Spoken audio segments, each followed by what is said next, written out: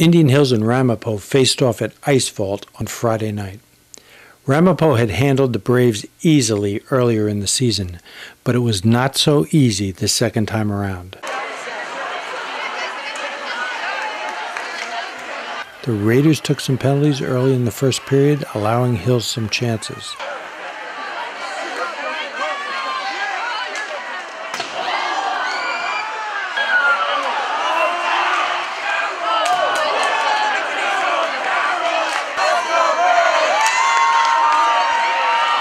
Ramapo had some chances of their own, but they could not get anything past front.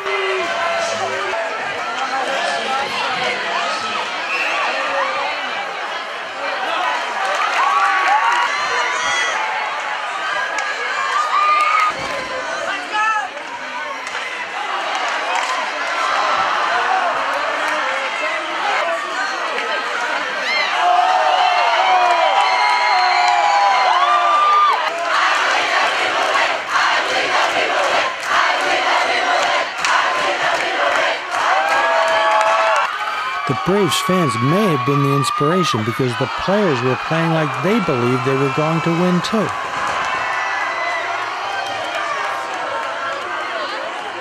The Braves only had four shots on goal in the third period, but they were all great chances.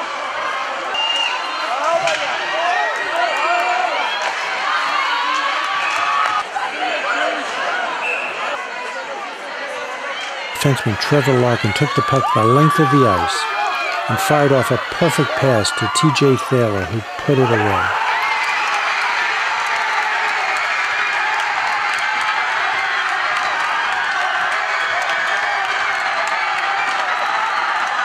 The brave believers went crazy.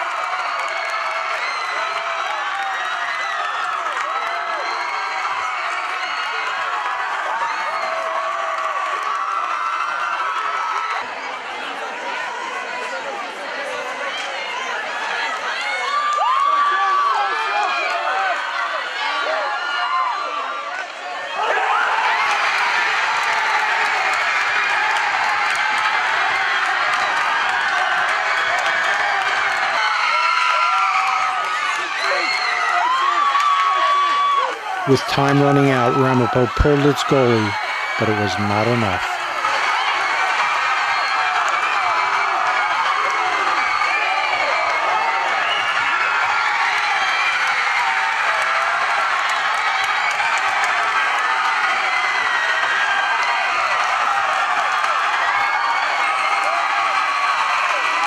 Well, it's a good um, taste of reality for these guys.